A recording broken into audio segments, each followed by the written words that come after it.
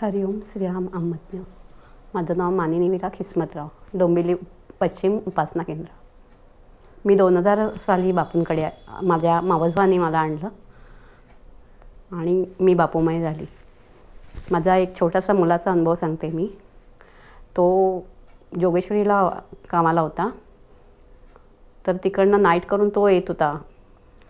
Night करून आला आणि त्यांनी बॅग कधी वर तो ठेवत नाही.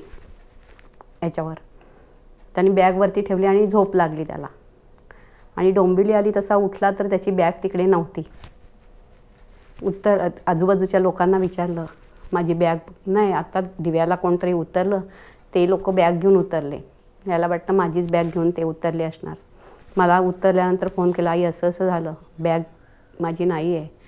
म्हटली आता ती गेली. नाही दिव्याला जाऊन नेतो. कुठे मिळणार आहे? जरी त्यांनी नेली तरी ते लोक देणार आहेत का? तू जाऊ नको नाही मी जातो. तर त्याच्यात वही होती रामनामाची त्याची. आणि सगळे कागदपत्र होते. तर मी म्हटलं बापूराया मी पूजा करत होती. बापूराया मिळणार तर नाही पण मला वही हवी आहे. बाकी सगळं गेलं तरी चालेल. वही आणि त्याचे कागदपत्र हे मिळू दे. बाकी काही नाही पैसे गेले तरी चालतील. तो गेला. तिकडे काही दिव्याला मिळाली नाही. मिळणार नव्हतंच. रिटर्न आला म्हणतो आता मी कंप्लेंट करतो. म्हणून कंप्लेंट करायला गेला. पोलीस स्टेशनला. आणि कंप्लेंट करणार तेवढ्यात फोन वाजला. मला की तुमची बॅग चुकून मी आणली आहे. चोरच होता तो पण तरी त्यांनी बापूंची कृपा. बापूंना मी म्हटलं होतं ना वही पाहिजे मला.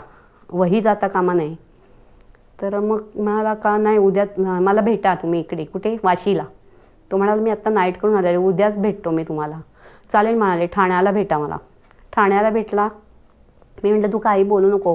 काय आहे काय नाही फक्त वही बघ. वही बघितली वहीत पैसे होते. एक हजार रुपये वगैरे होते पण ते वहीत पैसे नाही शिल्लक राहिले. पैसे गेले वही आली. म्हणजे अशा प्रकारे बापूंनी त्याला मला पाहिजे होतं वही.